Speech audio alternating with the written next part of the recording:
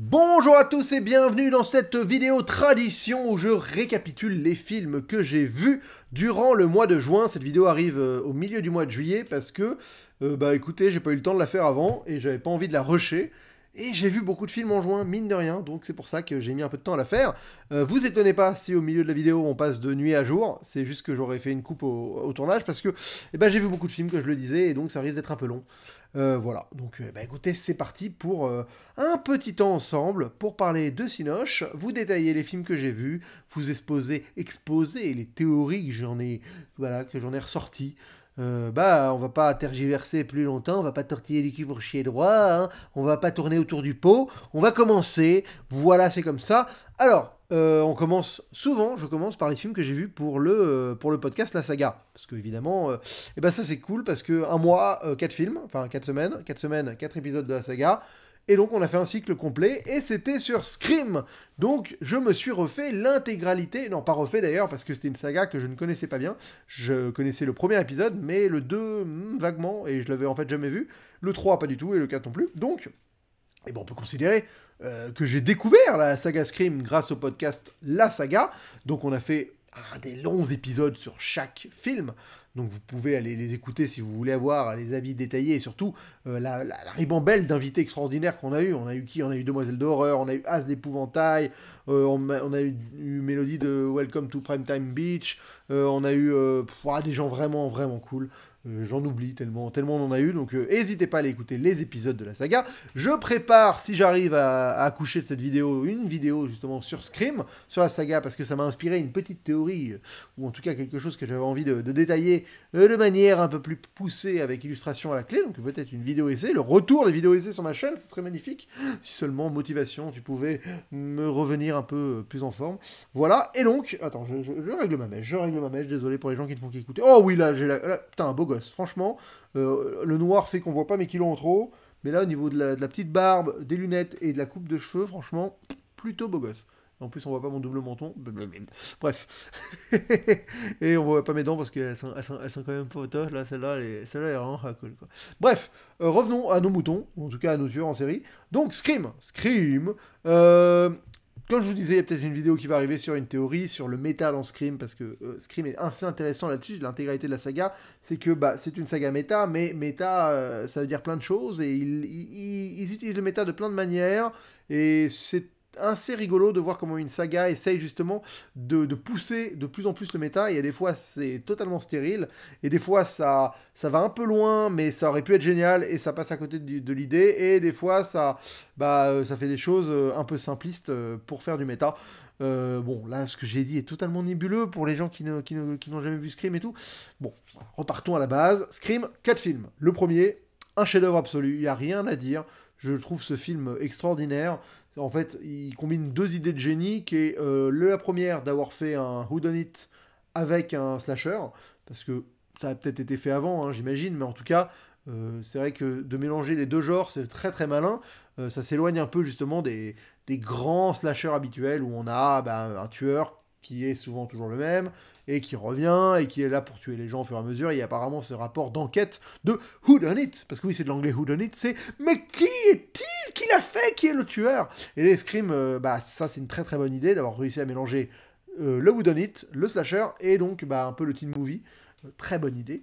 Et le, deuxième, coup de génie, c'est d'avoir introduit l'aspect méta, donc le fait qu'on est dans une époque où les gens ont vu les films d'horreur et donc bah, abordent des actes horrifiques d'un point de vue de, quelqu'un qui connaît les films d'horreur et qui un peu compare sa vie à un film. Euh, donc ça, ce sera l'objet d'une vidéo que je pondrai un jour. Je vous le promets pas.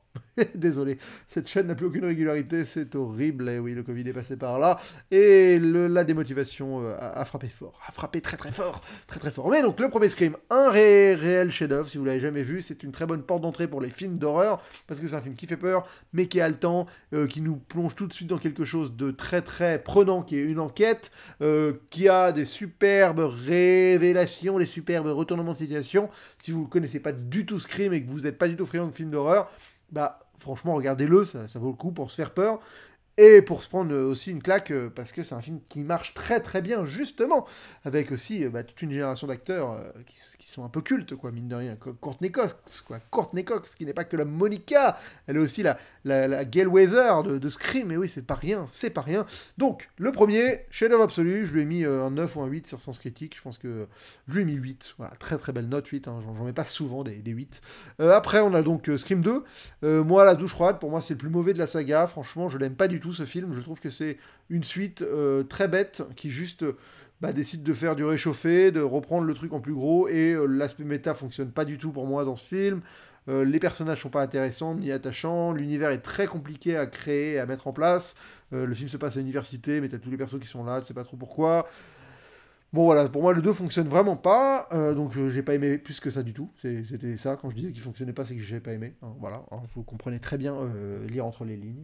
Euh, ce fameux, tu sais lire entre les lignes. en fait, je te fais un doigt d'honneur Voilà, voilà, il est tard, je suis totalement à l'ouest. ensuite, on a Scream 3, qui est pas un bon film, mais qui est un film raté. tu sens qu'il y avait des bribes de choses géniales et une idée sur le... Voilà, une idée qui aurait, qui aurait pu être grandiose, qui est l'idée de bah il y a un tournage de film Scream et il y, a, euh, bah, y a des meurtres, euh, il y, a, le tournage du film se mélange avec euh, bah, finalement les meurtres du film et tout ça. Ça aurait pu être quelque chose de très intéressant et on, on, essaye de, de, le comprendre en profondeur avec As l'épouvantail dans le troisième épisode de la saga consacrée à Scream. Mais là, je vais pas pouvoir vous le résumer parce que cette espèce d'état d'esprit est très compliqué. Mais c'est vrai que c'est un là pour le coup ça va ça pousse le méta le méta j'ai pas précisé ce que c'est le méta mais qu'est-ce que je faillis à tous mes devoirs dans ce type de vidéo c'est un vert. Bref, le méta, c'est le métatextuel, c'est toutes les choses qui sont liées à la mise en abîme, à, au brisage du quatrième mur, au fait de faire référence à une œuvre dans une œuvre, au fait qu'une œuvre est consciente elle-même d'être une œuvre. Voilà, c'est tout ce rapport un peu là, le méta. Et donc, bah, dans Scream 3, il y a un méta qui est quand même assez génial sur le papier, qui est bah, ce rapport entre on assiste à un tournage de film qui est en fait le film qu'on voit et les gens qui mettent en scène le film, est-ce qu'ils mettent en film, en, en film, enfin, est-ce qu'ils mettent en scène le film qu'on voit ou le film du film, et ça se brouille et le rapport entre la réalité et la fiction est un peu brouillé, c'est assez génial. donc ça, mais, mais, malheureusement le film est nul parce qu'il est absolument pas gore et que tu sens qu'il manque un truc. Il est nul parce qu'il est pas abouti et tu sens qu'il y a eu des, des problèmes de production. Et en plus le film parle de Weinstein de manière très ouverte. Euh, alors qu'il est produit par Weinstein sans, sans le nommer, mais voilà, c'est très très parti. Il y a beaucoup de choses à dire et on en dit beaucoup dans le podcast et je vais pas les redire ici. Ce serait euh, beaucoup trop euh, laborieux et, potentiellement inutile pour les gens qui m'écoutent toutes les semaines dans la saga.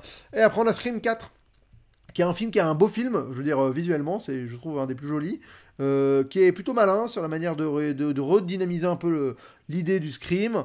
Euh, qui, a, qui a encore une évolution du méta intéressant, qui, a, qui utilise le gouffre euh, temporel qu'il y a entre le 3 et le 4 en termes de, tournage, qui a quasiment eu 10 ans sans Scream. Donc Scream revient, et comment? Bah, Scream revient dans une autre époque finalement. Euh, donc le film est conscient de tout ça, et plutôt, plutôt bien fait, et c'est probablement le deuxième meilleur film de la saga, après évidemment le 1. Euh, mais encore une fois, long épisode, blablabli, blablabla. Il y a Az, il y a, y, a Ace Modé qui était venu euh, pour cet épisode-là, avec aussi euh, Marie de Chroma, de Panique, Panique qui font des séances avec Chroma, bref. Je m'en mêle les pinceaux. Et bah, c'est tout ce que j'ai à dire pour la saga Scream. Voilà, je ne vais pas m'épiloguer très longtemps parce qu'évidemment on en a parlé longtemps dans les podcasts. pour les podcasts, j'ai aussi vu deux autres films. j'ai vu Scary Movie, et j'ai revu aussi Scary Scream Movie. Alors on va parler de Scary Movie. Écoutez, Scary Movie, c'était un, c'est un film culte pour moi, vraiment euh, un film que j'ai vu euh, quand il est sorti au cinéma à l'époque. C'était une séance de fou. Je me rappelle, j'étais un peu trop jeune pour entrer en salle et j'avais réussi à, rentrer avec mon grand frère. C'est, ça a pris un petit coup de vieux parce que bah il euh, y a des blagues un peu offensantes, mais ça moi j'en ai rien à battre. Ça me fait toujours marrer la grosse qui passe dans la chatière, voilà. Donc pas de problème, suivez-moi, enfin euh, suivez-moi, euh, jetez-moi des tomates. Non, par contre ça a pris un petit coup de vieux en termes de rythme. Tu sens que bah mine de rien, il est il est un peu sage finalement. un peu troublant parce qu'on pourrait dire ah, le film est mal vieilli parce que justement il est trop obscène, trop obscène, obscène. Mais en fait il est un peu sage et, et c'est un peu avec le temps je me souvenais d'un truc plus efficace et, plus rythmé, tout ça. Après, il y a quand même énormément de choses qui fonctionnent très très bien. Bah, la première chose, c'est que le film s'est calqué sur Scream euh, scène par scène. Donc, euh, bah, c'est une parodie. Euh, enfin, tu peux pas faire. Ça, ça, te dénature Scream de manière très très rigolote, où chaque scène est juste un tout petit peu détournée pour euh, bah, en révéler une absurdité qui aurait pu être, euh, être dans Scream. Et c'est ça qui est très très fort. Euh, bah, après, c'est aussi la révélation d'Anna Faris, qui n'est pas une actrice que j'apprécie particulièrement, mais par contre, il y a, il y a Elizabeth. Elizabeth Ah, mais comment vous vous appelez, mademoiselle? La dame qui monte ses cendres American Pie. Voyons. Voyons, Shannon Elizabeth, évidemment, Shannon Elizabeth qui joue Britney, et oui, voilà, qui pour le coup est extraordinairement Belle, c'est le mot. Euh, euh, bien roulé, ce serait la réalité. Plus, voilà, on va dire très. Non, elle, elle, en impose physiquement. Et, pour le coup, euh, son rôle en joue beaucoup. Il y, a, les frères Wayans. Le film est un film des frères Wayans. Et, et c'est vrai que Shorty est un personnage culte. C'est un stoner movie qui fonctionne très bien. Il y a des gags qui continuent de me faire marrer comme pas permis. Moi, Mr. Man, ça reste quelque chose qui me fait rire parce que c'est d'une gratuité absolue. Et à la fois ça balance, ça balance sévère quand même. Euh, ce que j'aime beaucoup, c'est que c'est une vraie parodie dans les règles de l'art, où euh, tout est sérieux et à la fois, euh, bah, ce qui se passe est d'une débilité sans nom. Les, personnages le jouent de manière très sérieuse. ça fonctionne toujours aussi bien, même si évidemment c'est une parodie et c'est daté. parce que bah, c'est ancré dans son époque, on fait des références à Matrix, on fait des références à Pub des trucs qui ont pris un coup de vieux aujourd'hui, évidemment. Mais bon, que voulez-vous Que voulez-vous? Faut se souvenir aussi que bah, les œuvres appartiennent à une époque et que forcément, quand tu les sors de leur époque, elles perdent un peu en pertinence, évidemment. Mais Scary Movie fonctionne toujours autant euh, parce que c'est un peu trashouille et qu'il y a il y a quand même un humour ravageur sur beaucoup beaucoup de choses euh, qui, qui, pour moi me font extrêmement rire. Euh, on en a fait un épisode spécial pour le podcast La Saga sur le Patreon. Voilà, donc si vous voulez nous écouter, Maxime, Sofiane et moi discuter de, de Scary Movie pendant bonheur, et eh ben n'hésitez pas. On parle de beaucoup de choses, on, diverge dans tous les sens. On, on dit pas verge plusieurs fois, on, divague, on, dit, on fait des, chemins de traverse, des, détours. Euh, vous m'avez suivi.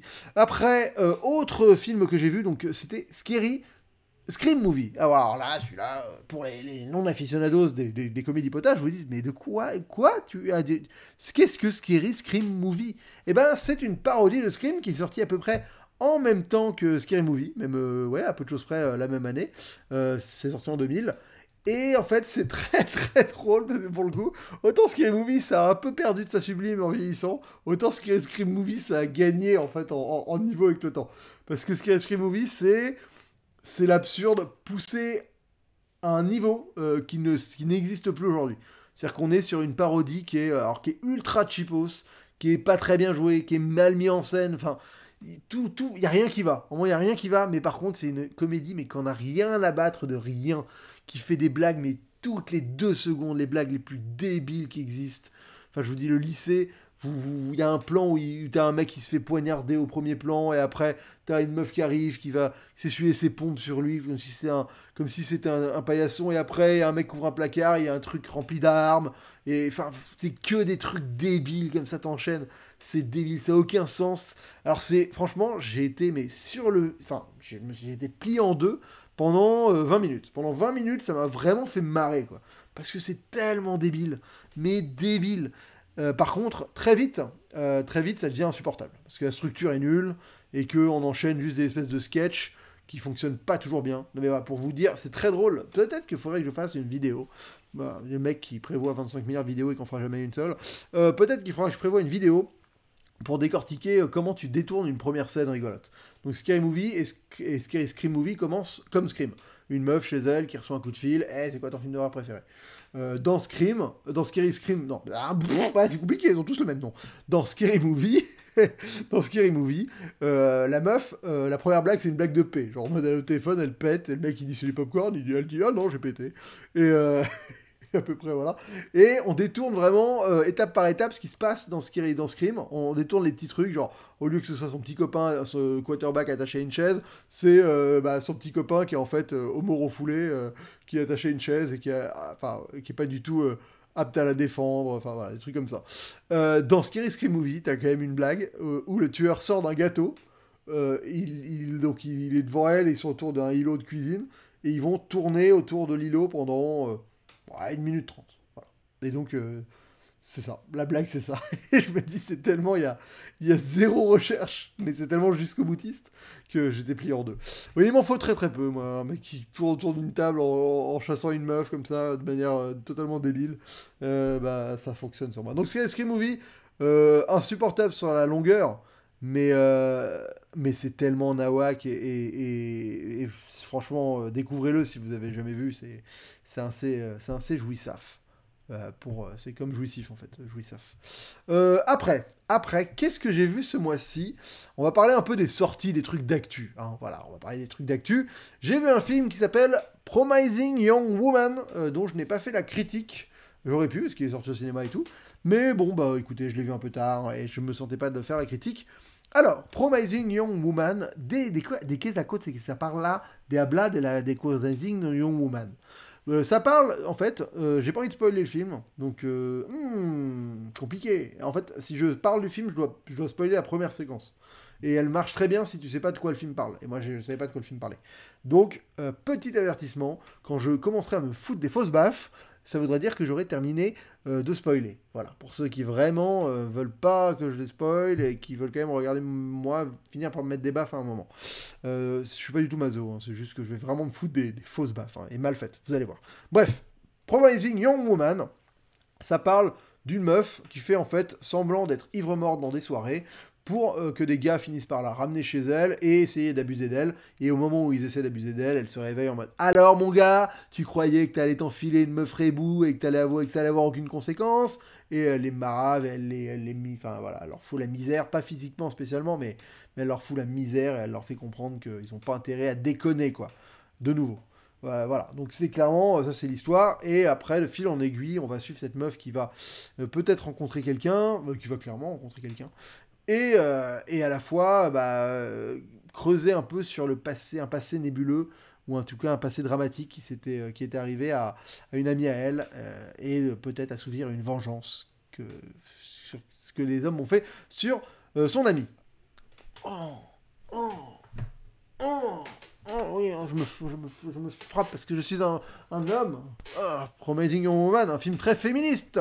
Oui, euh, non, franchement, film très intéressant parce que bah ça, ça, tacle euh, quelque chose d'important qui est la toxicité, la toxicité masculine latente euh, et surtout diverse et variée. C'est-à-dire que on a vraiment ce côté où les gens du film beaucoup sont des, nice guys, ce qu'on appelle des nice guys. On se rend très vite compte qu'en fait, euh, euh, dans ce film, le film dépeint des situations, euh, ouais, bah, que peut-être des gens bien ont, vécu, mais que la société ne, remet pas en question particulièrement, et donc on se retrouve à avoir des, nice guys qui en fait ont, des, ont des choses à se reprocher, mais évidemment, si on a, avec notre mentalité, la mentalité bah, des, récente ou actuelle, selon comment vous vous placez, et eh ben, euh, ces gens-là ne se remettent pas en question. Et donc le film euh, va dépeindre ça. Donc je pense que c'est un film cathartique pour beaucoup de gens et, et qui euh, permet de, faire ouvrir les yeux sur, sur quelque chose qu'on pourrait considérer comme... que des gars considèrent comme normal, alors qu'en fait, bah non, pas, pas, nécessairement. Après, le film charge comme un bœuf, hein, vraiment, vraiment comme un bœuf. Moi, je trouve que j'ai été un peu surpris et, un peu déçu. Je m'attendais à ce que le film soit peut-être un peu plus, un peu plus colérique finalement.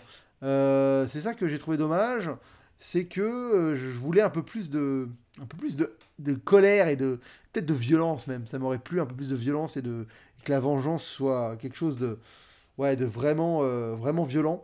Mais bon, je sais pas pourquoi j'avais envie de ça particulièrement, peut-être pour justement avoir ce côté cathartique d'autant plus. malheureusement, le film est assez prévisible.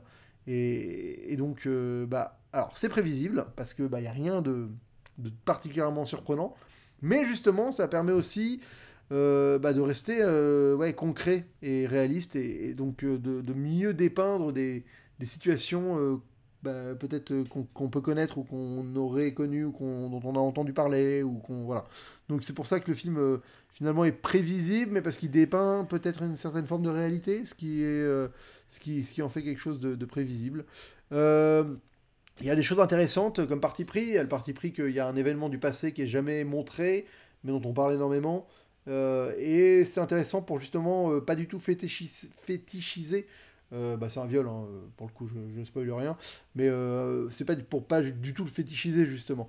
Que ça soit vraiment quelque chose qui aborde, enfin qui est abordé d'un ouais, d'un point de vue purement féminin, où cet acte est tellement ignoble qu'il n'y a pas de raison de le montrer, pour le faire comprendre aux spectateurs. Que ça, le, de le montrer, ça, le rendre, ça ne le ferait que le, ouais, que le fétichiser, que le, rendre donner un aspect qui ne, qui ne doit pas avoir d'autre que événements dramatisants dont chacun prend la mesure à, à, son niveau personnel. voilà, non mais franchement et en plus il y a aussi le fait que justement il n'y a pas besoin de, devoir en tant que spectateur il n'y a pas besoin de devoir attester du viol aussi euh, visuellement pour euh, le croire. Et ça c'est quelque chose d'important aujourd'hui aussi parce que évidemment euh, ce rapport à la parole de la victime qui croire bah machin m'a violé bah non t'as as des preuves bah non j'en ai pas. Enfin mais, mais il m'a quand même violé bah non je te crois pas si t'as pas de preuves ce genre de choses. Là au moins bah, le film avec cette, démarche de pas te montrer le, le viol et de ne même si bon il y a quand même une vidéo qui qu'il prouve auprès des gens de l'histoire. Hein. Mais je veux dire, de ne pas te le montrer, ça, ça, ça, va un peu dans cette idée de, de ne pas avoir besoin d'être comme euh, Saint François, de devoir euh, croire pour le voir. non, c'est-à-dire qu'on te dit, et bah voilà, euh, c'est comme ça, il n'y a pas besoin de, devoir avoir vu les choses, avoir des preuves des choses pour, pour croire et prendre acte peut-être des trucs. Donc c'est un film qui est, je pense, extrêmement dans l'air du temps, vraiment, et qui parle parlera euh, à, beaucoup de, monde et qui est intéressant à voir en tant qu'homme euh, parce que bah, c'est un film qui a charge hein, contre la masculinité vraiment.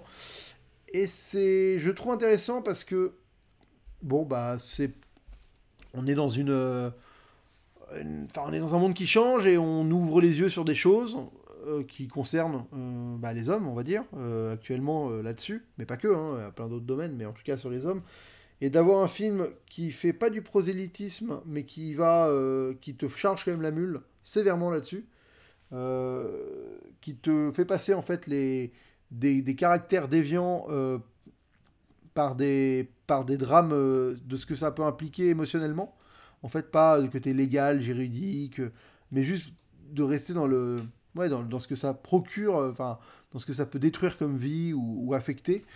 c'est une bonne manière de faire comprendre quelque chose à des gens qui, qui se sentent un peu euh, pris à défaut par le film, quoi. Parce que vu que le film euh, te dépeint euh, des situations que beaucoup de mecs peuvent, peuvent avoir vécues sans aller dans certains extrêmes, et que bah, le film te dit, bah ouais, ouais, bah, tu vois, tu vois c'est ce que tu as fait, c'est peut-être légal ou je sais pas quoi, mais en tout cas, c'est vraiment, c'est un vrai acte de merde, quoi.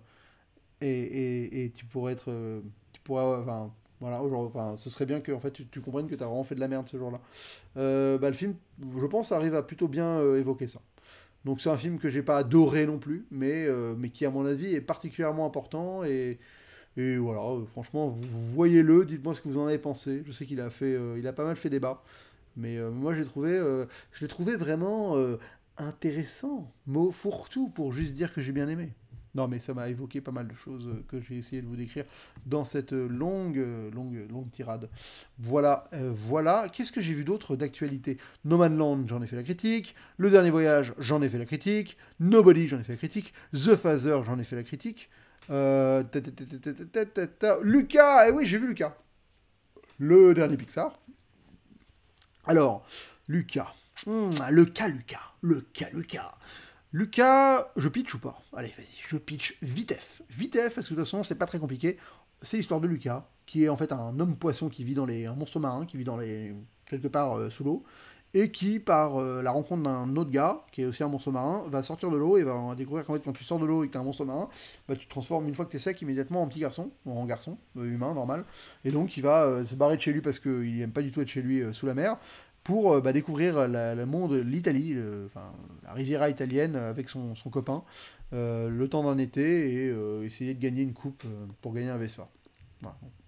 Vous avez compris qu'il y a une partie du, pitch qui part un peu en sgeg et qui veut pas dire grand chose. Il y a un truc qui m'a vraiment déçu dans ce film, parce que oui, j'en ressors un peu mitigé. Je lui ai mis quand même 6, hein, donc c'est pas non plus un mauvais film, loin de là. C'est un film qui est assez charmant, qui est léger, qui est vraiment un petit conte d'été. donc très agréable. Pixar, Pixar, Pixar sait toujours faire quand même bien les choses. Euh, l'animation est magnifique, les décors sont somptueux, blablabla, bla, bla, tous les trucs qu'on dit habituellement sur ce genre de trucs. Il y a beaucoup d'humour, c'est plutôt rigolo. C'est très simpliste. Euh, et en fait, euh, la simplicité du film aurait marché si le film avait réussi à être poétique. Et je pense que c'est là qu'il échoue vraiment. C'est d'avoir sacrifié sa poésie pure au détriment d'une intrigue forcée. Et l'intrigue forcée, c'est la coupe, je dois gagner une coupe pour obtenir un Vespa, et donc on va avoir toute cette espèce d'intrigue autour de l'entraînement, de machin, pour... Et en fait, c'est un film qui est appelé à la flânerie, qui est appelé à, se faire confiance et à essayer de, te faire vivre un été d'un jeune enfant en Italie qui découvre ce que c'est que bah, la liberté, la nature, voilà, les copains, enfin voilà, juste vraiment il aurait fallu un film euh, bah, un, peu, euh, un peu à la mode, euh, un peu à la Kiki, les petites sorcières en fait. En vrai, c'était vraiment ça. Tu sens que c'était ça qu'ils voulaient faire et qu'ils n'ont pas, eu les, les, coups des franges de faire. Parce que c'est clairement ce que le film. Oh là, j'ai balancé un molar sur mon ordi. c'est clairement ce que le film aurait voulu être, je pense. un film sur un sur un jeune garçon qui découvre le monde et qui, qui appréhende, qui a des déceptions, des bons moments, des mauvais, et, qui euh, se fait une idée des choses. Après, vous pouvez rajouter l'intrigue familiale, la recherche de soi, de son identité, le rapport où euh, bah, il y a des monstres marins et on en a peur, tout ça. Ça pouvait être dans ce film-là. Mais mais il n'y avait pas besoin de plus d'intrigue que ça, plus d'événements moteurs de, l'action pour, euh, pour générer des trucs. Il n'y avait pas besoin de ce méchant là, euh, cette espèce de cliché sur pattes, qui est potentiellement le chef de Ratatouille, euh, le méchant, parce que l'univers de Pixar Pot de Calais qui est tout mélangé. Mais voilà, non, il n'y avait pas besoin de ça. Et, et c'est dommage parce que à partir de là, il manque un truc. Tu sens qu'il manque un truc et que le film n'est pas abouti, et que le film t'envoie pas dans des, dans des Ouais, voilà, dans des. T'as pas envie de te replonger dans Lucas pour revivre cet été italien parce que finalement tu le vis pas vraiment. Euh, de la faute, je pense, à, une intrigue artificiellement. Euh, euh, oh putain, après 23 minutes de live sans aucune interruption de parole, j'ai enfin pas trouvé un mot. Eh ben dis donc, eh ben dis donc Zoltan, qu'est-ce qui te prend? Pourquoi tu prends l'accent du sud en plus dès que tu veux te, te réprimander Vraiment, oh là là, va falloir te reprendre. Hein. Allez, carton jaune. Donc oui, c'est là où tu auras envie de te plonger dans cet été et le film t'en empêche un peu. Donc euh, triste, déçu. Après, plein de bonnes choses, euh, c'est mignon tout plein, les enfants euh, se font un peu chier de devant, pour le coup, je l'ai vu avec trois enfants, quatre même, et ils sont, c'était pas la, la, la teuf, c'était pas plus drôle que ça pour eux. Et je, oui, et je l'ai pas dit, mais Pixar, ils sont une, c'est aussi pour ça que je suis un peu sévère.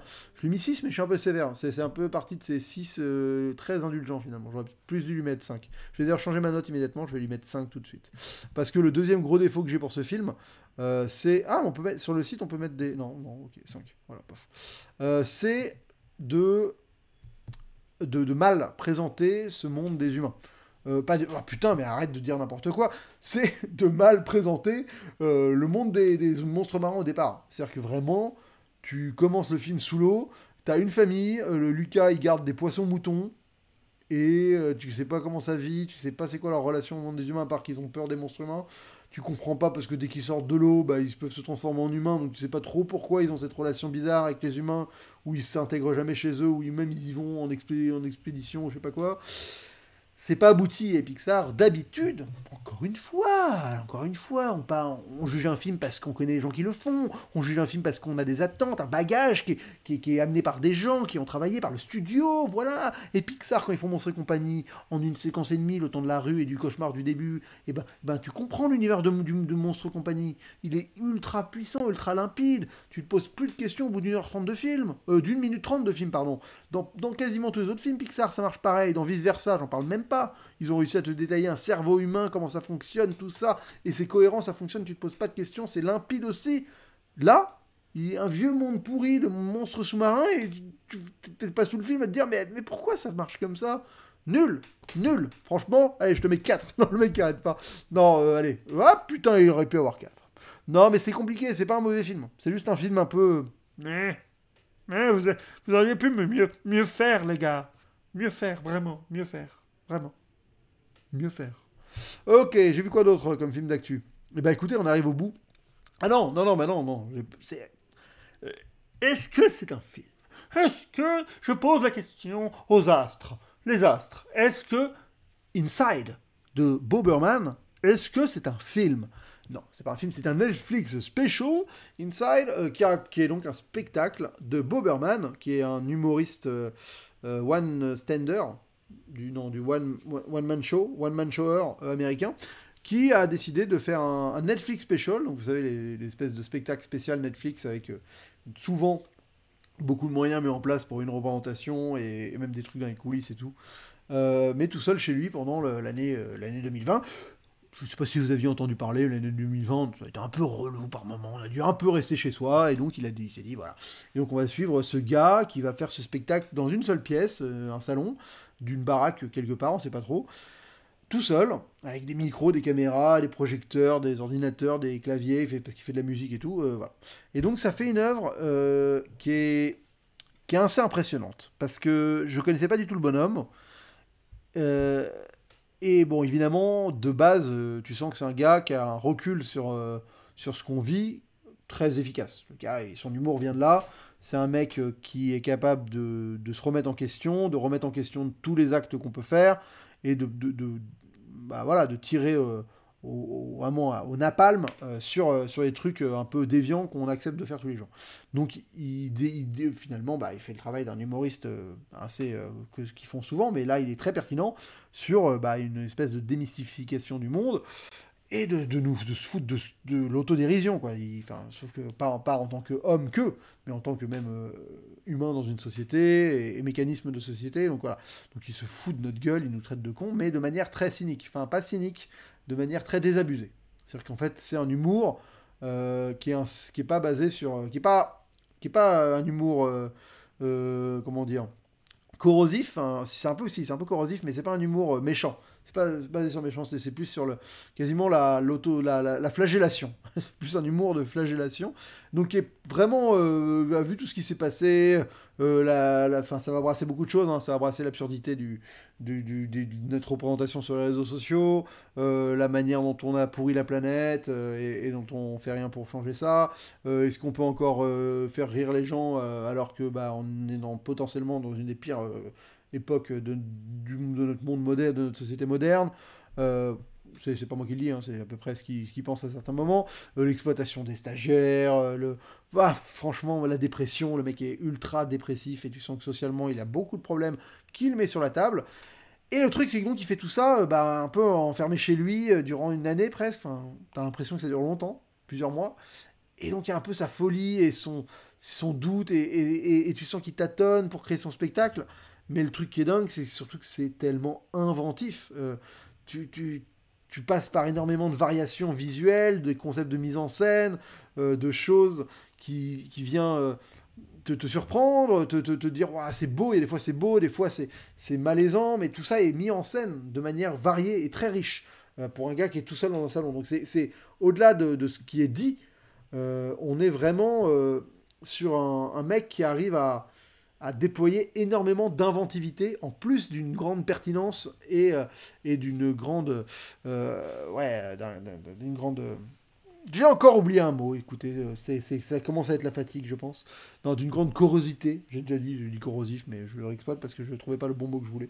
Euh, voilà. Ah, cette mèche Voilà. Et donc, euh, franchement, un programme à découvrir. Je pense que vous, l'avez tous vu, ça a bien marché sur Netflix. Donc, euh, un, truc à voir. Et surtout, c'est. Bon, moi j'ai trouvé ça fascinant, c'est le mot que j'en ai retenu sur ma critique de sens critique, mais euh, au-delà du, fait que ce soit. Oh, un petit au-delà au-delà d'eux, ça faisait longtemps. Euh, au- au-delà du fait que ce soit fascin- fascinant, ce qui est assez euh, génial, c'est que ça. Bah, c'est symptomatique de, de 2020, finalement. Et c'est peut-être l'œuvre la plus 2020 qu'on qu'on aura eue. Un gars tout seul qui utilise le fait d'être confiné pour créer un truc, mais le truc euh, pour aller mieux finalement ça fait que aller moins bien parce que parce qu'en fait c'est déprimant d'être tout seul à faire des trucs confinés, mais à la fois euh, bah, faut le faire quand même parce qu'il n'y a, a rien d'autre à faire. Et donc c'est un espèce de marasme qui, qui vit. Et les chansons sont très cool. Voilà, il y, a- il y a beaucoup de bonnes chansons, mais il y a des très bonnes choses. Donc c'est pas un film, mais j'avais envie d'en parler quand même. Voilà. Eh. Ah non, et en actu, j'ai vu autre chose aussi, mine de rien, on va en parler ici, parce que bah on sait jamais. J'ai vu la, cinquième saison de l'émission Game of Rolls, euh, qui est donc sur la chaîne Twitch de Mister MV, et qui est euh, un jeu de rôle euh, écrit et, mis, en jeu par Fibre Tigre. Alors pourquoi j'en parle là? Parce que ça n'a rien à voir avec des films et tout, mais à la fois pas loin.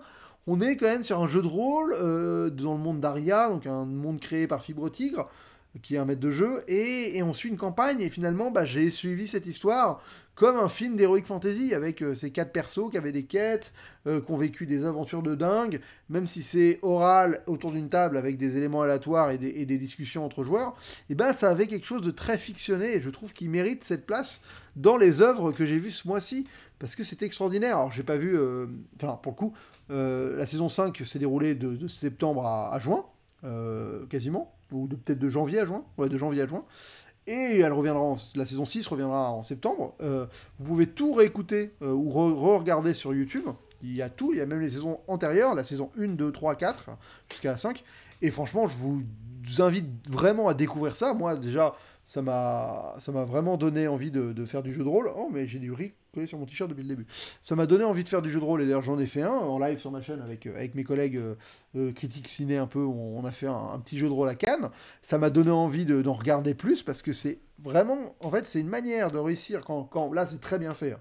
Franchement, fibrotique. Donc Aria, je vous résume le truc, c'est un univers médiéval fantastique, et on suit quatre aventuriers qui ont une quête. Euh, ça commence, ils doivent aller sur une île, l'île du sorcier, du roi sorcier dragon, pour obtenir quelque chose, et ça va partir en cacahuète, et de fil en aiguille, ils vont être ballottés d'aventure en aventure, et de rencontre en rencontre, et ils vont se retrouver au milieu d'un espèce de conflit géopolitique mondial euh, qui met le monde en péril.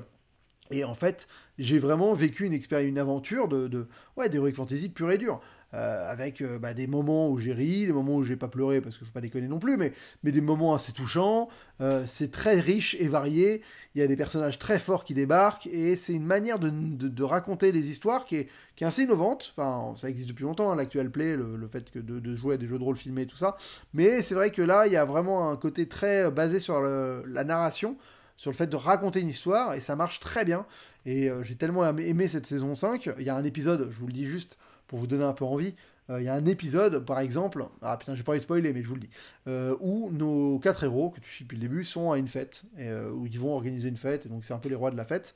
Et là, on switch de point de vue, on, passe dans quatre jeunes gars qui essaient de s'incruster à cette fête pour passer du bon temps.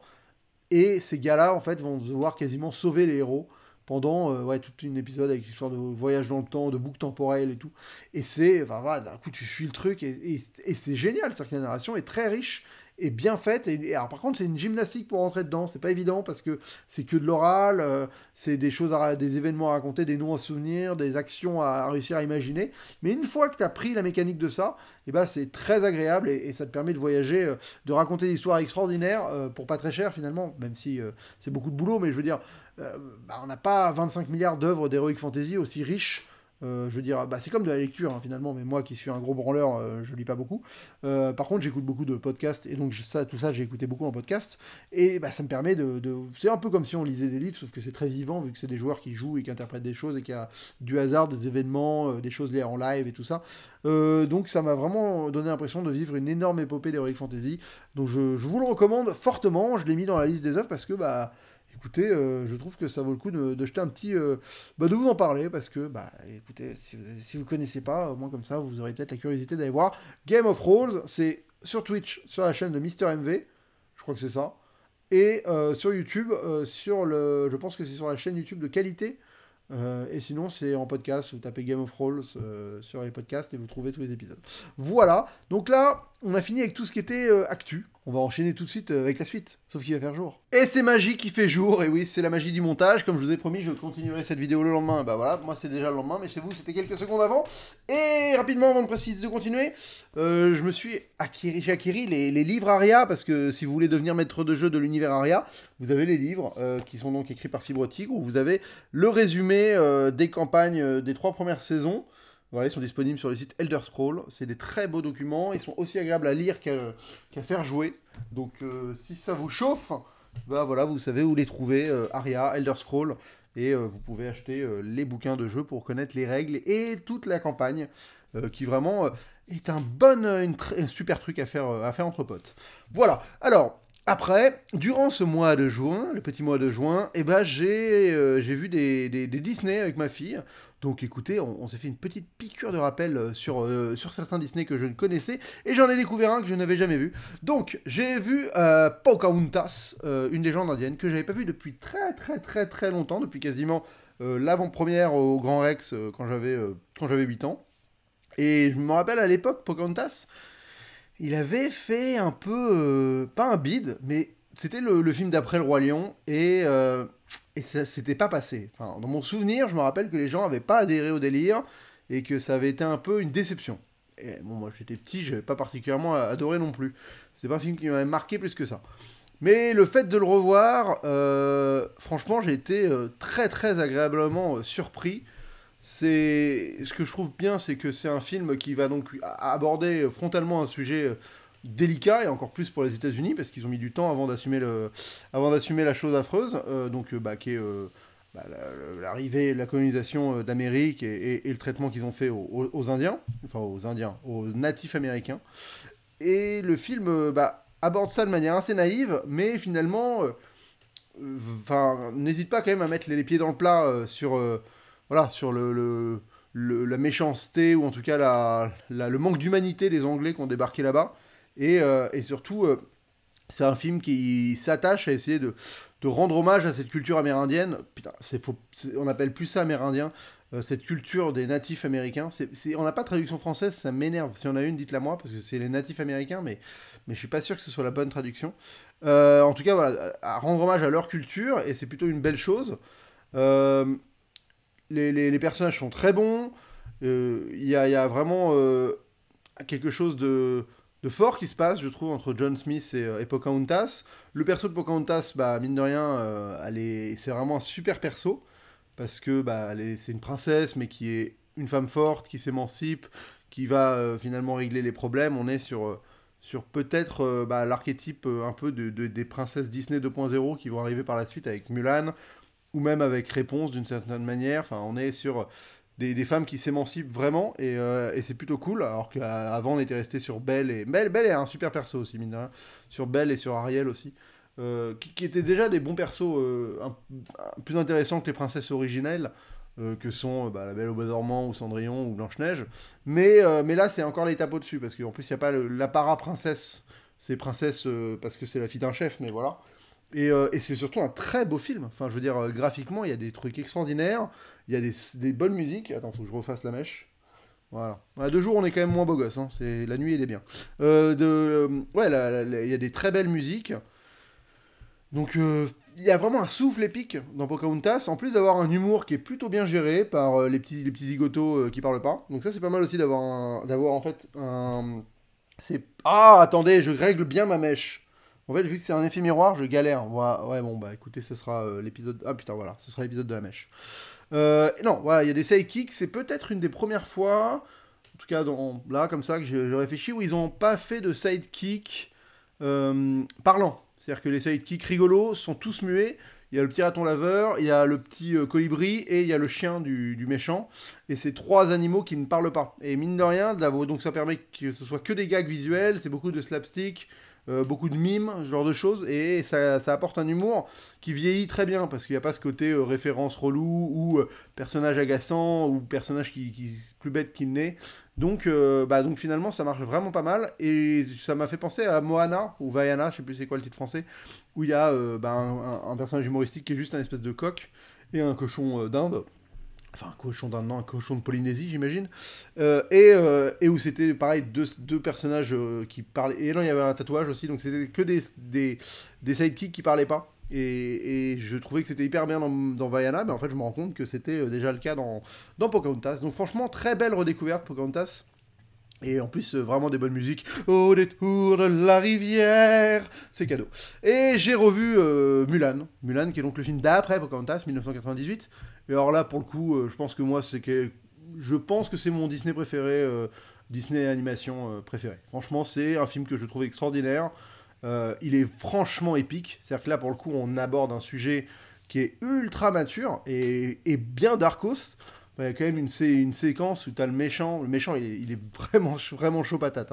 Il y a quand même une séquence où tu le, méchant qui balance un message à deux gars pour leur dire Retournez dans votre armée, euh, délivrez ce message. Et après, il se tourne vers son archer. Il dit Combien il y a besoin d'hommes pour délivrer une information? Et l'archer, il tend son arc, il fait Un seul. Et ça, cut. C'est Franchement, c'est ultra dark, quoi.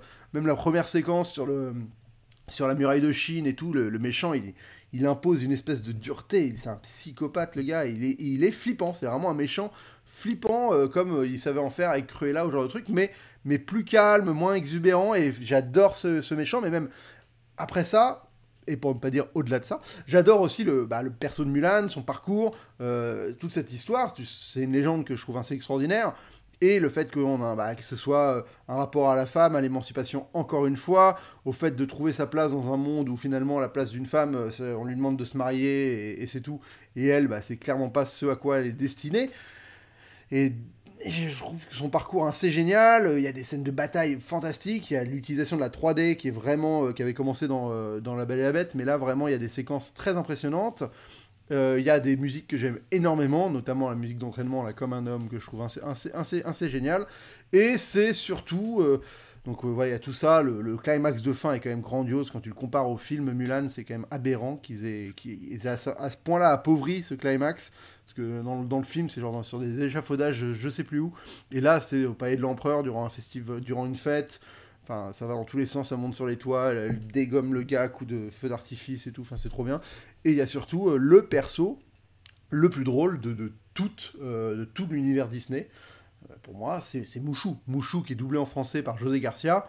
Il est extraordinaire. Je veux dire, le, je l'ai jamais vu en, anglais, c'est jamais vu en anglais. Faudrait que je le vois en anglais parce qu'en anglais c'est Eddie Murphy.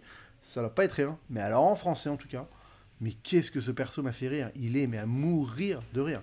Je veux dire toutes ces phrases où euh, il, a ses répliques dans tous les sens, ça va très très vite, il a des tournures de phrases, allez circule avant que je te bouscule, des trucs comme ça, il est des trucs comme ça où il, il a vraiment une manière de parler et de, d'être exubérant qui, mais, qui me flingue quoi. Et donc c'est vraiment de très très loin le perso le plus drôle.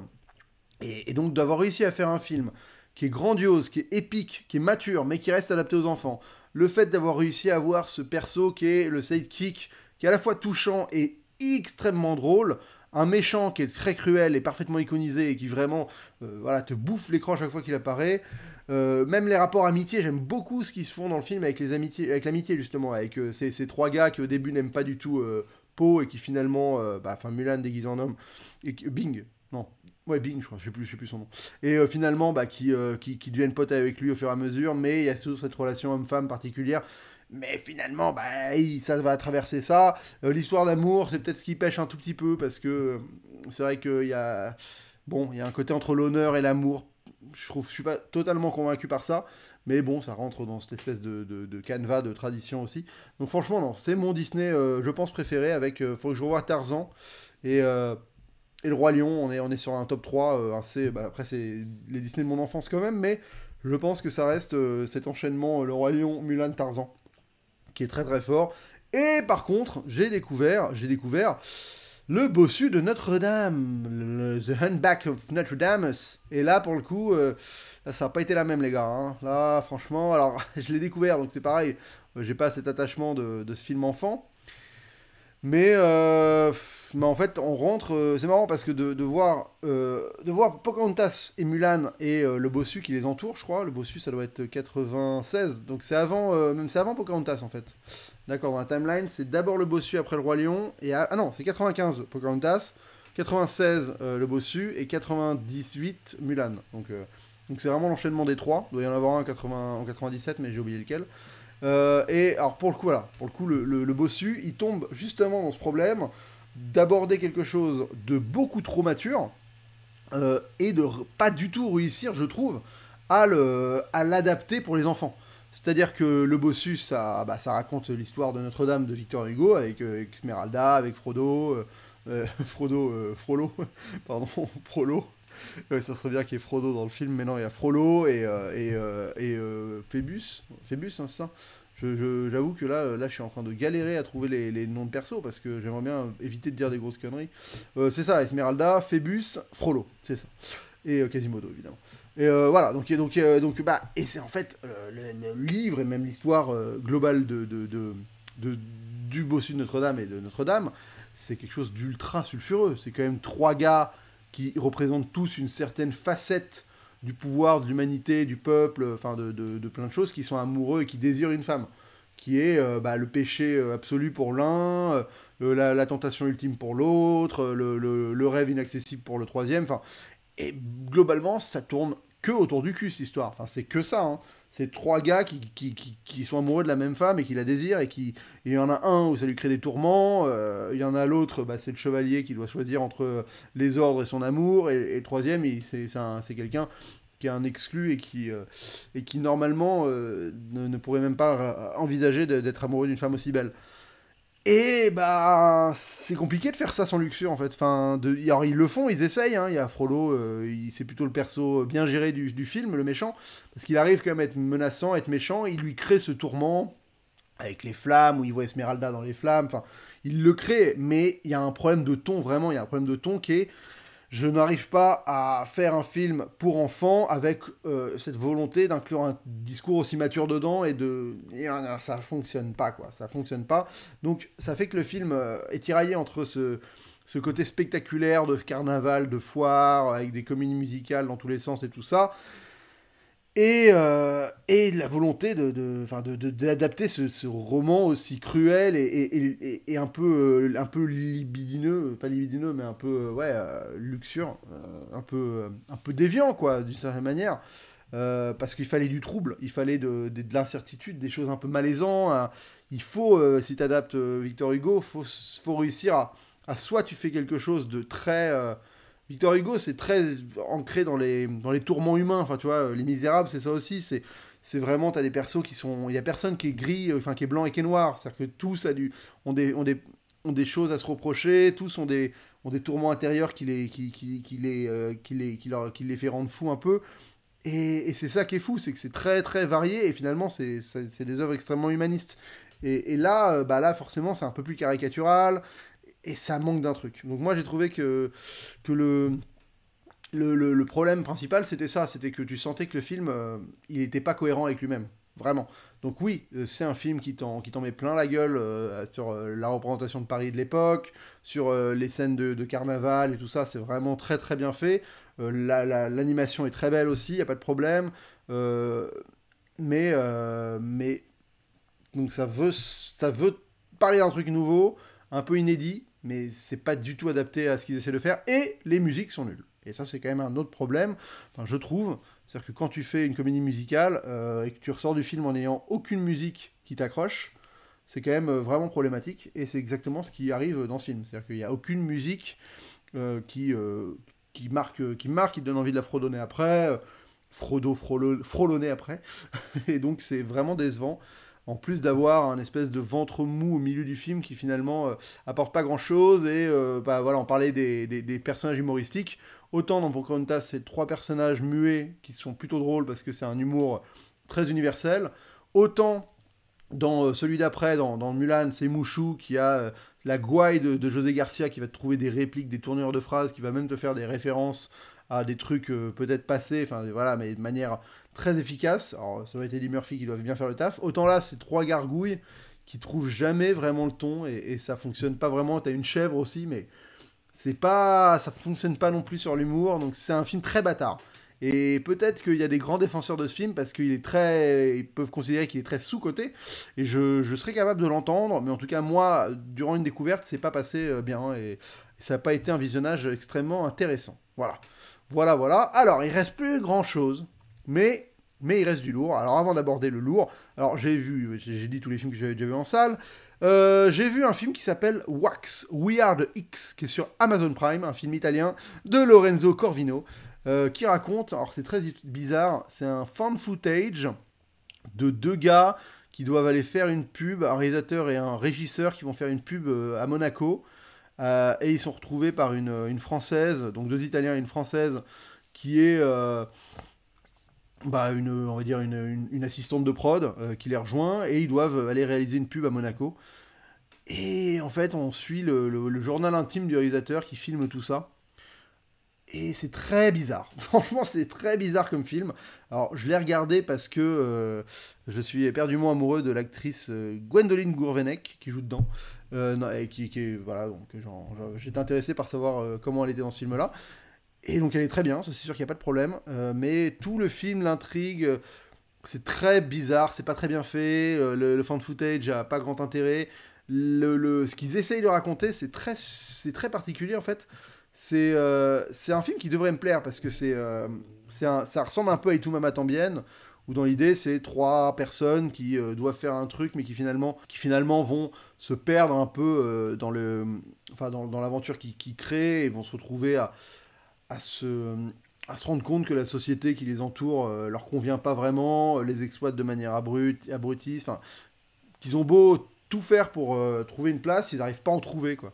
Et donc, euh, bah, il y a un peu ce rapport-là où c'est des longues conversations, enfin des conversations sur euh, l'état du monde, euh, sur la manière dont on, dont on, ouais, dont on va traiter cette génération, la génération X.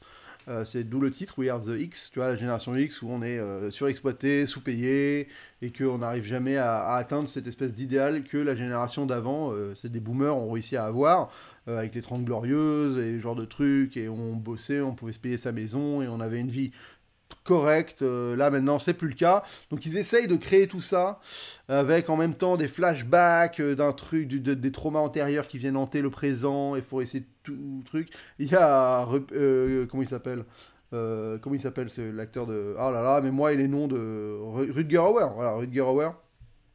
qui est donc le, le- mec de le, grand le grand méchant de Blade Runner euh, qui joue dans le film mais genre vraiment tu sens qu'ils ont eu une séquence euh, pour, pour avoir son nom sur l'affiche et donc bah, c'est un film un peu décevant c'est un peu décevant je c'est sur Amazon Prime euh, je l'ai vraiment regardé parce que j'étais curieux et et ça fonctionne pas très bien, mais c'est bon, c'est écoute, c'est tant mieux de voir des, films qui marchent pas très bien de temps en temps. euh, c'est pas plus mal, parce que je vois souvent que des films qui me plaisent plutôt, vu que je, je sais que c'est un peu ce que je regarde. Voilà.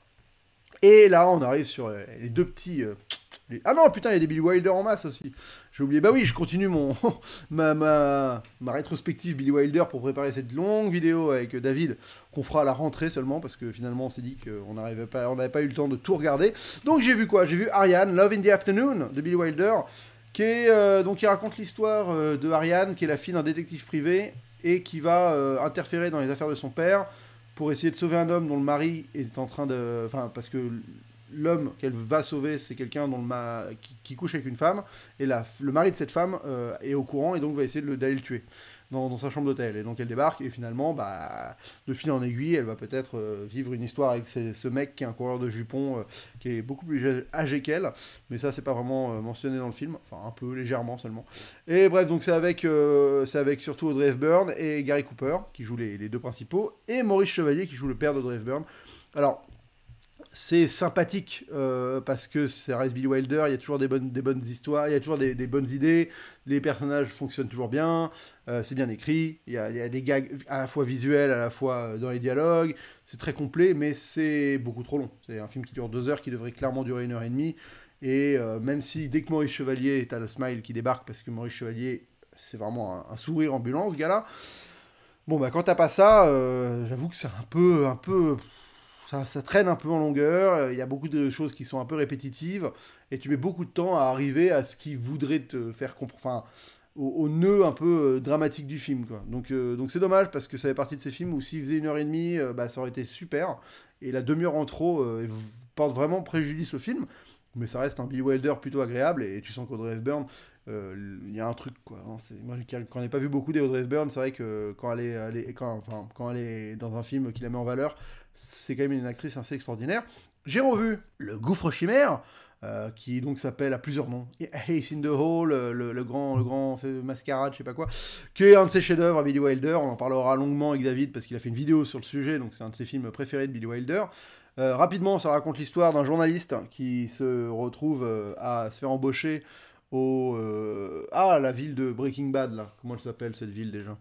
Euh, au Nouveau-Mexique. J'ai totalement euh, oublié le nom de cette ville. La ville d'Albuquerque, en Nouveau-Mexique. Donc il se retrouve à... C'est un, journaliste new-yorkais, tu vois, un peu, qui s'est fait virer de son, sa parution précédente, et qui se retrouve à trouver un petit emploi, euh, un emploi dans le journal d'Albuquerque, où il se passe jamais rien.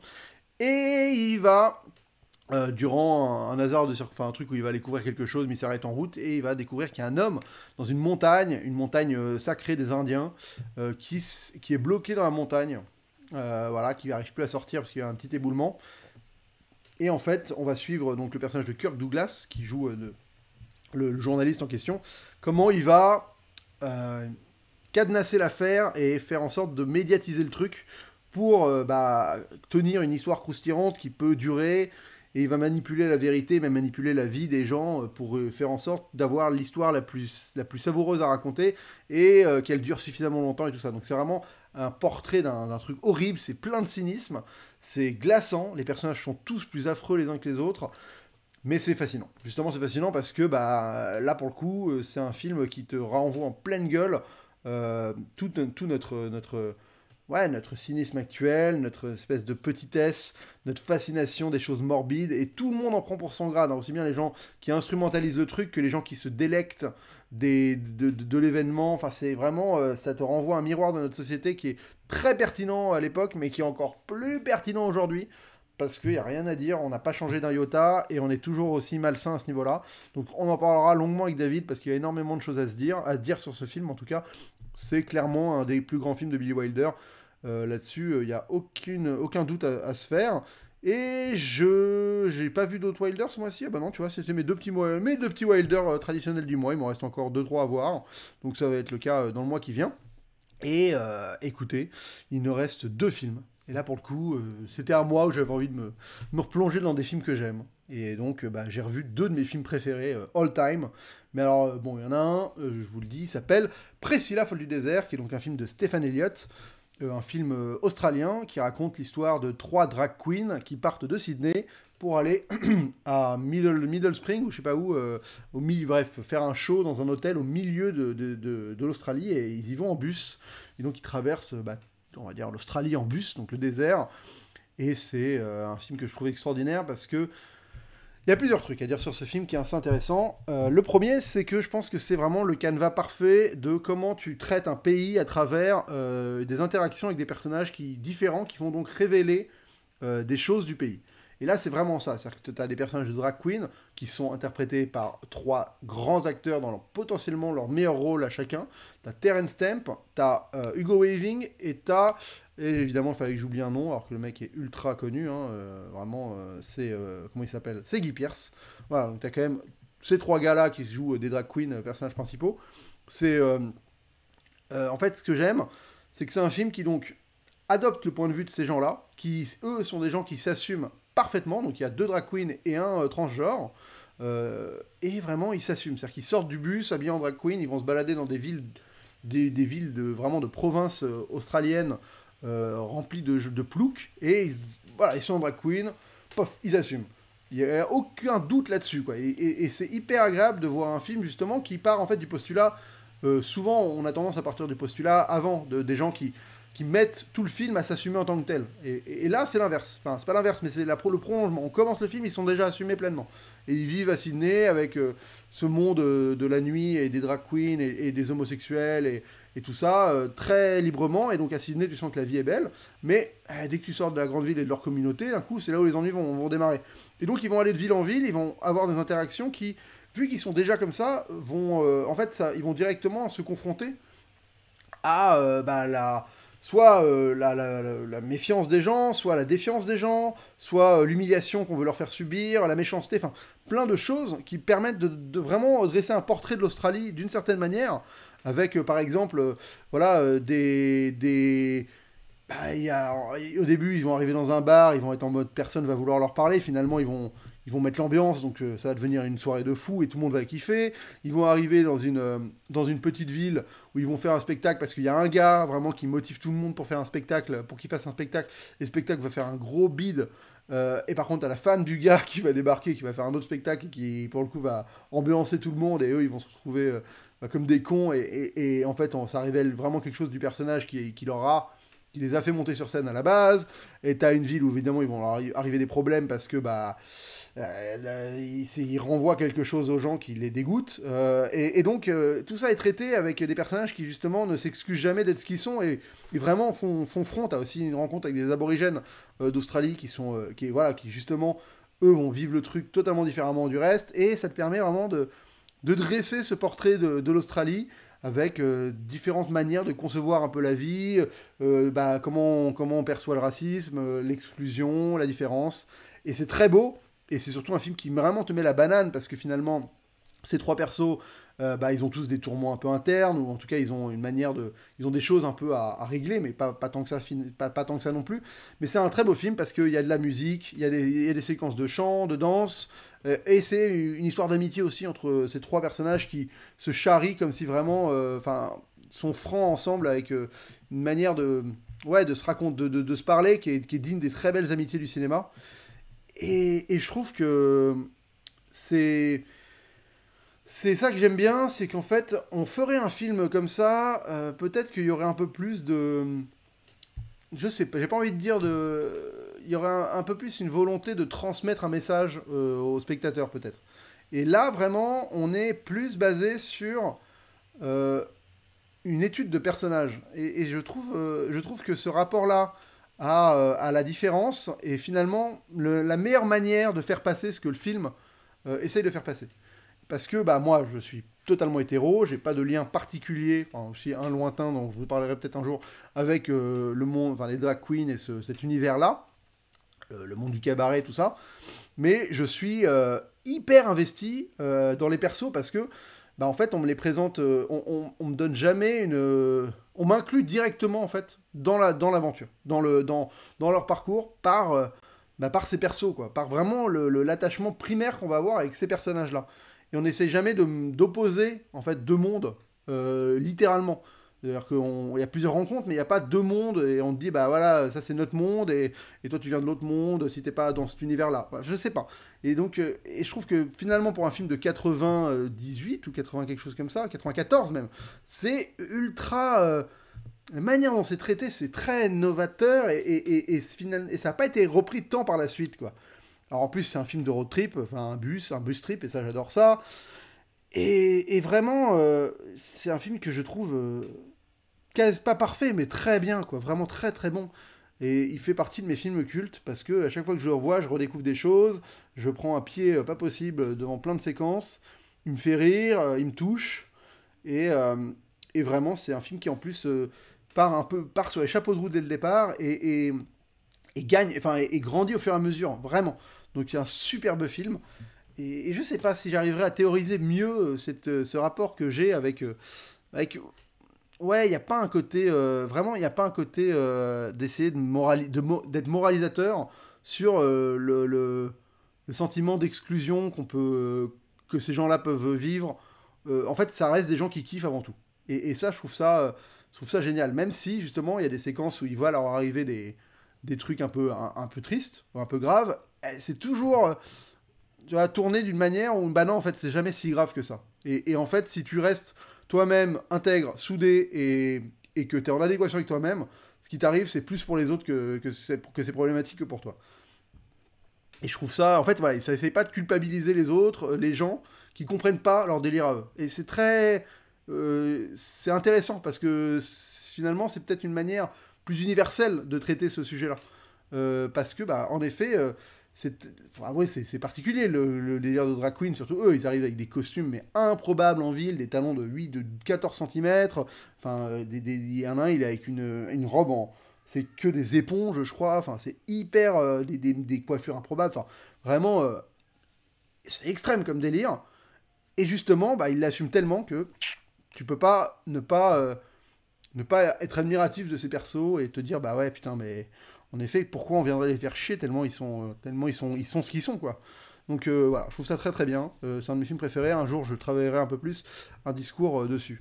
Et le dernier film là on est là on est potentiellement sur sur le top 3 des, meilleurs films de tous les temps pour moi. Potentiellement.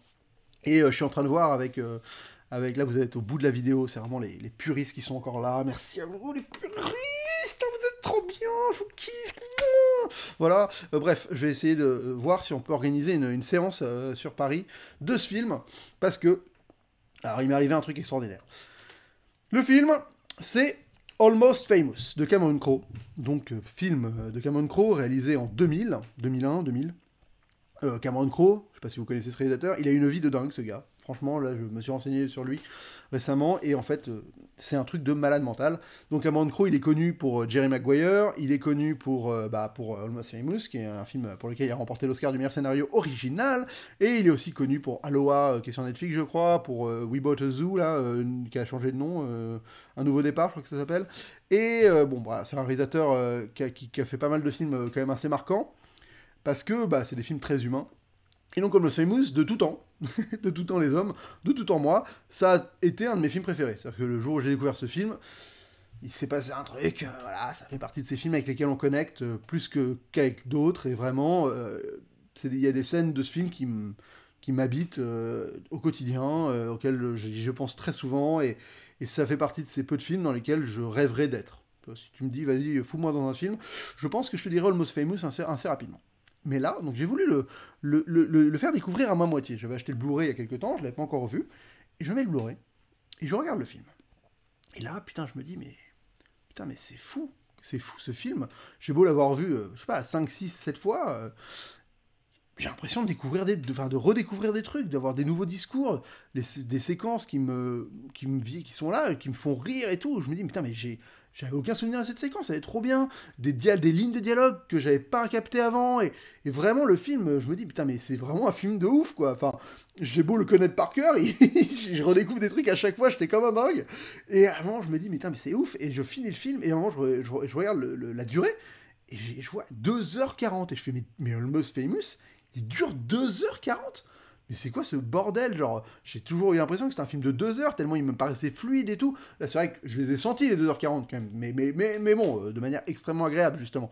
Mais je me suis dit, putain, c'est ouf, quoi. Et, donc, je suis là, bon, bah, je m'endors. Le lendemain, je suis à réfléchir. Et je me dis, putain, il me faut trop un commentaire audio de ce film, parce que franchement, j'ai kiffé grave et il n'y avait pas de commentaire audio sans l'aurait. Et donc, je commence à, checker ça. Et en fait, je, me rends compte qu'il y euh, y a une version Untitled, et j'avais vu au début du film Untitled, euh, dans un des, crédits, et je ne savais pas ce que ça voulait dire, mais je l'avais jamais vu avant. Et en fait, c'est la Untitled Cut, qui est en fait la Director's Cut de Cameron Crowe, que je n'avais jamais vu, dont j'avais jamais entendu parler, parce que je me renseigne pas tous les jours sur les films que j'ai vus euh, quand j'étais ado tout ça. Hein. Enfin, c'est vrai que tu tapes une fois sur Google Almost Famous, tu tombes très vite sur la, Director's Cut, y a pas de problème. Mais j'avais lu le scénario en plus, c'est ça qui est drôle, c'est qu'en fait, j'avais lu le scénario il y a, y a quoi, il y a 4-5 ans, où il y a plein de scènes qui sont pas dans le film, dans le film normal.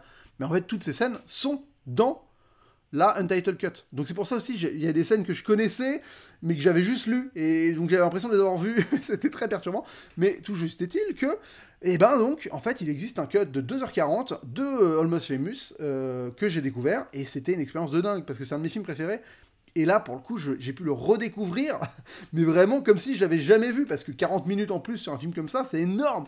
Et en plus, c'est pas 40 minutes avec genre deux scènes de 20 minutes euh, mis à droite et à gauche, non. C'est en fait toutes les séquences ont euh, une minute de plus, quasiment. Euh, enfin voilà, c'est très très, ça enrichit sur l'intégralité du film.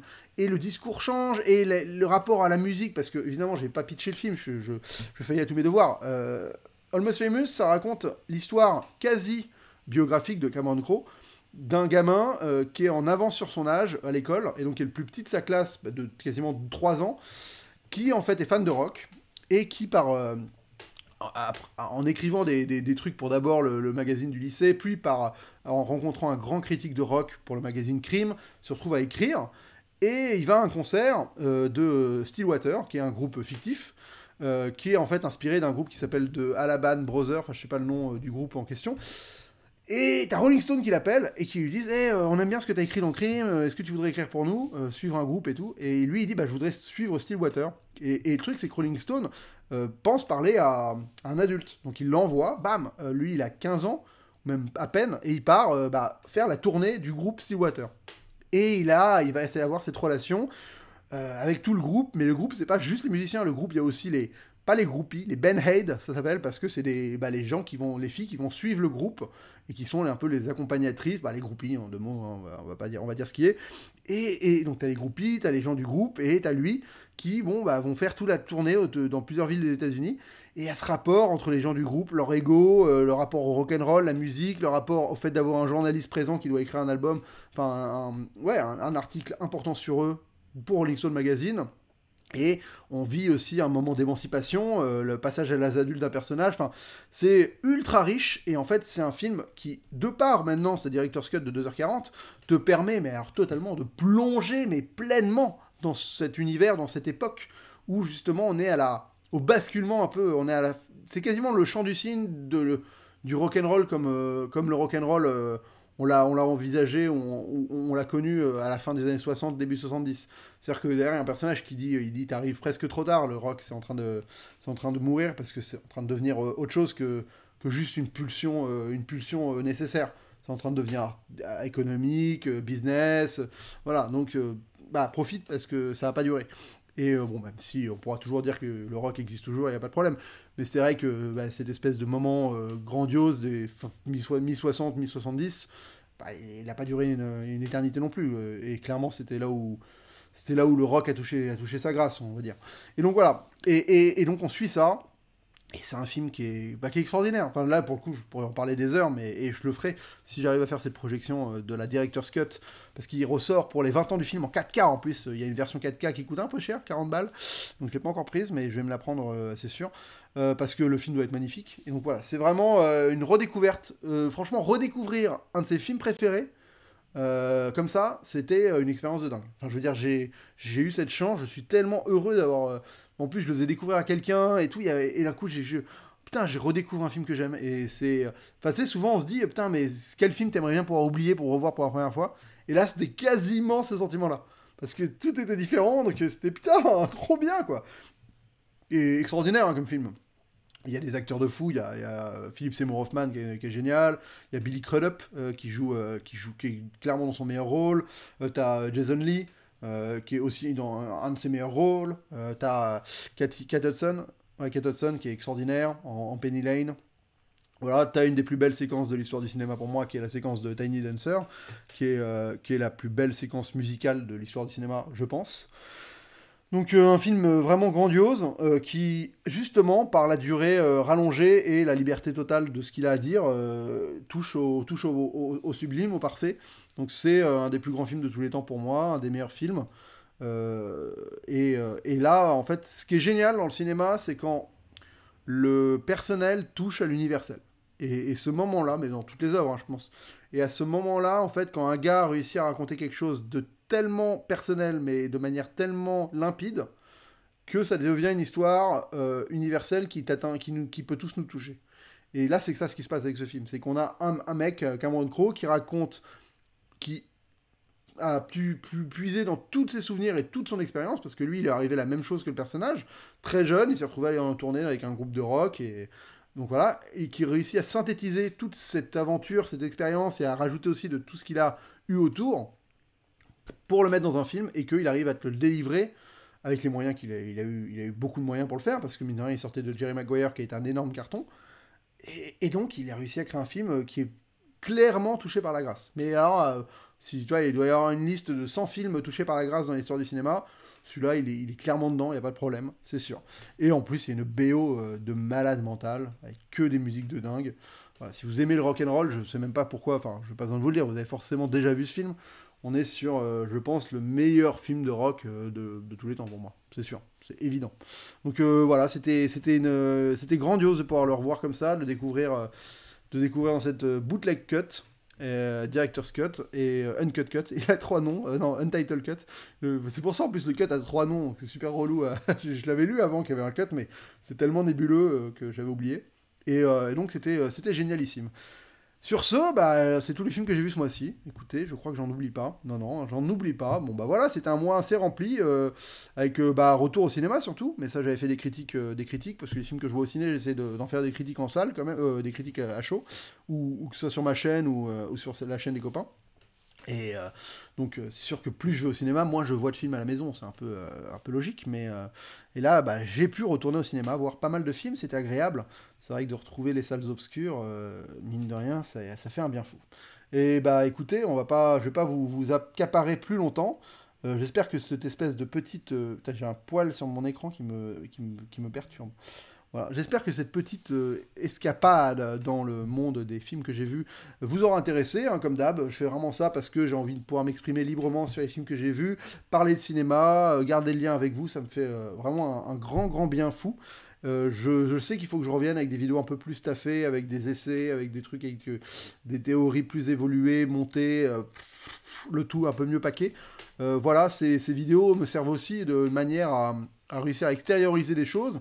Et je pense que je peux piocher dans ce que je dis pour réussir à, canaliser ça dans une vidéo qui, ceux qui auront vu cette vidéo, euh, m'intéressera moins parce qu'ils auront eu un peu la, la base de la réflexion.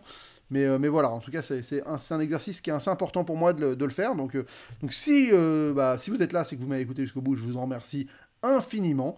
Je, je pas eu, le- je voulais être actif sur Twitch et tout, mais finalement, en fait, en bon intermittent du spectacle qui se vaut bien, bah, je me retrouve à avoir du taf qui tombe un peu n'importe quand. Et dès que je taffe, j'ai plus du tout la foi pour me mettre à faire du Twitch le soir ou le week-end parce que je veux profiter de ma famille que je vois pas beaucoup quand je taffe. En plus, j'ai d'autres choses à faire, donc c'est un peu compliqué, c'est toujours pareil, mais euh, bah, cette vidéo me permet de, de garder le lien. Écoutez, je vous remercie énormément d'être resté jusqu'au bout. Euh, on se retrouve très vite pour une prochaine, et d'ici là, bonne toile.